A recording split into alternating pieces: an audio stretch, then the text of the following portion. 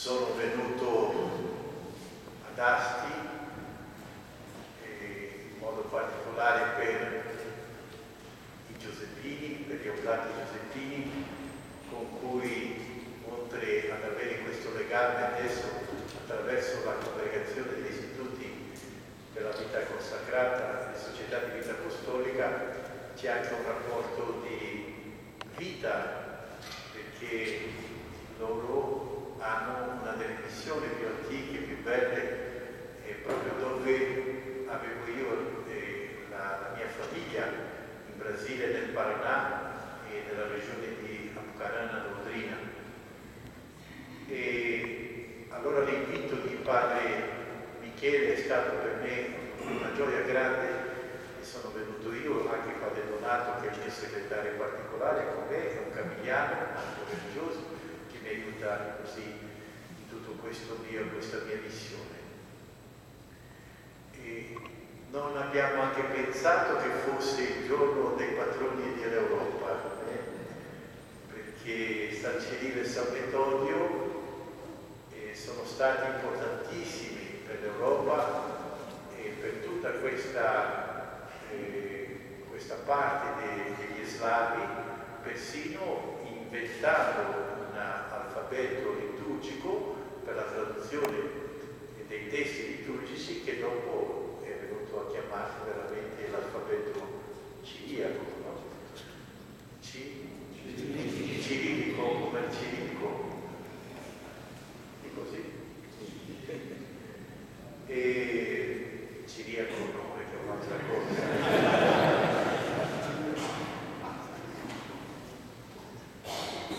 Sono contento perché noi nella Chiesa abbiamo bisogno in questo momento di campioni di santità e di amore veramente al nostro popolo e che hanno lasciato questa eredità così grande dicendo che Dio porta avanti le cose.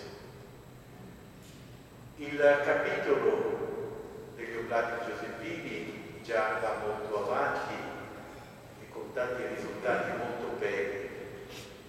E noi abbiamo potuto vivere questa giornata di oggi sentendo, penso in parte, eh, la bellezza di questo che diceva la prima lettura di oggi, questa consolazione che viene a Gerusalemme, la città in cui Dio abita.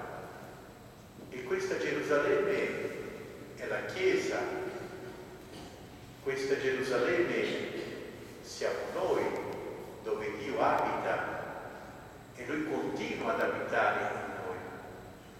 E dove c'è Dio c'è la consolazione vera, anche in mezzo alle provazioni che possono esserci in, nei diversi periodi della storia.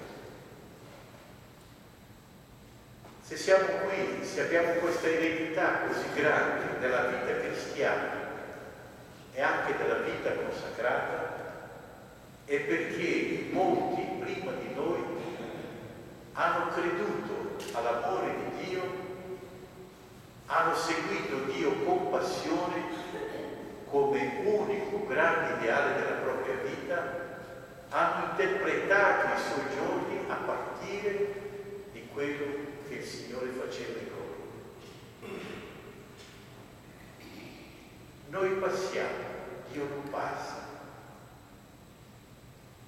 I tempi cambiano, Dio rimane e noi dobbiamo essere capaci di vivere questo, questo momento con intensità anche nella vita consacrata.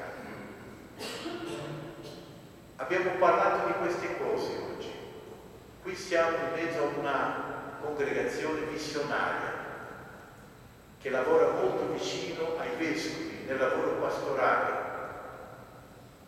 E sentiamo che questo ascolto vostro in questi giorni, dall'ultimo giorno di gennaio fino al 18, l'ascolto del vostro fondatore San Giuseppe Marello, che è qui con noi vicino nel suo corpo, mortali, e anche questa vicinanza al Vangelo con apertura del cuore. E questo fa questo insieme, non da soli. Si sentiva oggi che voi fate un cammino corretto. Io ero contento, sono contento.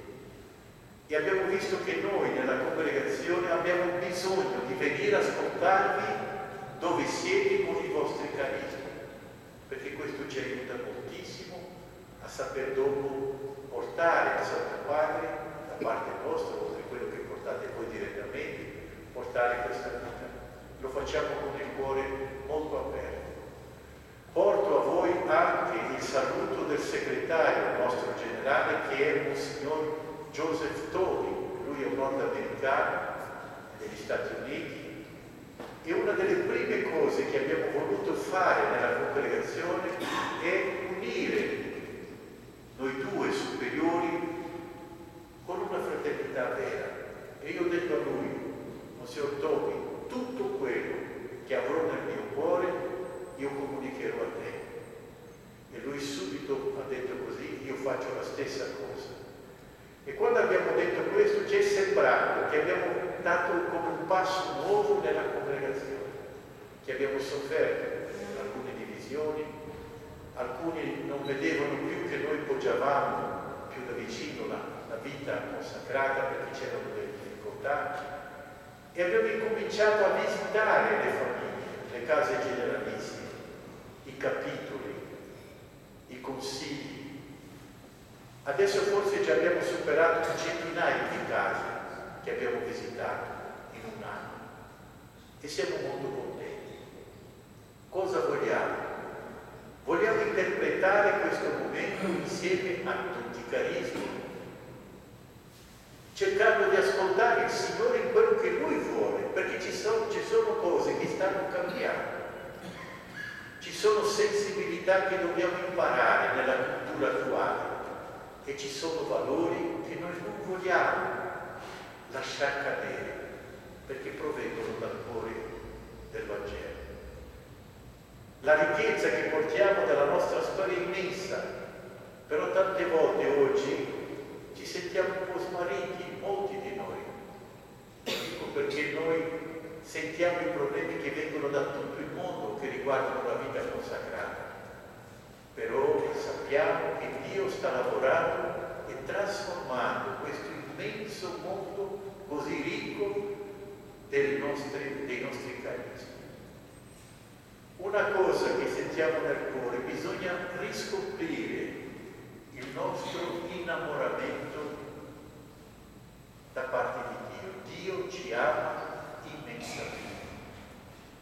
Bisogna sperimentare questo in modo nuovo L'innamorato, dicevamo stamattina, è un pazzo, lui non vede le difficoltà, lui va dietro chi ama. Se questo è il timbro del nostro, della nostra esperienza di consacrati, perché abbiamo sentito lo sguardo di amore di Dio verso di noi, e se noi alimentiamo questo come una risposta, come una risposta di amore, noi possiamo aspettare che il Signore farà grandi cose. È il momento anche di fare questo insieme, riscoprire di più dentro del, nostra, del nostro carisma la vita fraterna, trasportare questo amore di Dio dentro la comunità. Uno dei grossi problemi di oggi è che molti religiosi stanno uscendo e alle volte sono gruppi enormi, enormi Ultimamente abbiamo avuto momenti in cui sono usciti 150 persone in una volta, in un posto, 300 da un'altra parte. Sono più felice dove sono, voglio cercare di essere felice. E alle volte quello che conta tanto è che non c'è più la vita di famiglia, non c'è più il rapporto immediato, fresco, giusto, corretto. Quello che dà la vita per l'altro, per via del Vangelo, per via dell'amore del Signore. E noi dobbiamo ripristinare tutto questo, dobbiamo ricostruire questo dove non c'è. Non lavorare in altro modo, devono tornare ad essere felici, non chiuse. Il Signore penso che ci sta portando un poco da questa parte. E io penso che questo capitolo significa anche questo. Per questo sono anche molto contento che sono venute anche le suore a stare con noi questo piccolo momento. E dobbiamo dire che vi amiamo moltissimo perché le suore stanno sempre lì nella congregazione di più degli uomini, ma anche perché sono di più degli uomini, no? Sono, mi sembra, 70% dei consacrati, gli uomini sono 30%. Questo portare il Vangelo, che oggi il Vangelo ci dice, no? che Gesù ha inviato i suoi apostoli. La congregazione degli Oblati di San Giuseppe l'ha fatto in questi anni eh, più di cent'anni della congregazione, ma dovrà farlo ancora. Gli altri carismi lo stesso, però forse adesso il Papa ci dice che la cosa più importante è dare una testimonianza di chi, che noi siamo veramente discepoli di Gesù. Allora a noi consacrati, a noi vescovi, a noi sacerdoti, a noi diaconi, è chiesto anche un tornare sui cammini del discepolato, paragonare la nostra vita con il Vangelo, vedere se questo regge o se questo non regge più. C'è una cultura che non è del Vangelo, che può essere entrata e che non serve, e che deve essere tolta, deve essere purificata. Il Papa sta usando anche molto una, un altro concetto molto bello. Dobbiamo arrivare alla trasparenza. Quello che appare di noi deve essere quello che è nel nostro interno, non una separazione tra questi due mondi ma essere, essere quello che noi facciamo apparire, secondo il Vangelo. E dopo diceva anche avere una cura pastorale gli uni degli altri, come il pastore che cura la sua pecora, così noi sentire la responsabilità nostra di trovare rapporti d'amore con l'altro per stare con lui curato e camminare con lui. È una strada impegnativa, però bella. La Chiesa ha la sua ricchezza e dipende di noi di fare questo cammino. Io ho tanta fiducia in questo, in questo senso, però tornare allora a questo valore primordiale del nostro battesimo. Lì Dio ha tolto il nostro peccato. Dio non ha guardato più al nostro peccato e questo per noi è importante, non perché noi abbiamo tanto meglio, ma perché Lui è misericordia. E così, gratuitamente Lui ha fatto quest'opera in Gesù. E la seconda cosa che il battesimo ci fa veramente figli. È l'unica grande dignità che abbiamo, tutti noi. Tutto quello che c'è di grande, i ministeri, i carismi, i doni, le nostre diversità ci arricchiscono, ci arricchisce, arricchisce moltissimo. Tutto questo serve, serve veramente a costruire questa Gerusalemme dove Dio abita, che è la Chiesa. Io vi auguro allora capitolo che dimori che vada avanti sei anni, eh, nel senso di un nuovo capitolo della storia del vostro carisma, anche per quelli che sono con noi, questo camminare insieme verso questa direzione con sicurezza per chi noi sappiamo in chi abbiamo messo la nostra fiducia e lasciare il Signore lavorare in noi. E che possiamo dare questa testimonianza con semplicità.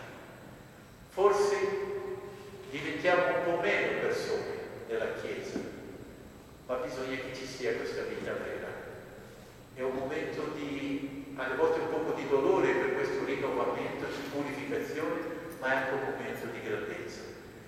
Cerchiamo di, di tenere duro no? con la testimonianza. Lodato sia il Signore nostro Gesù Cristo.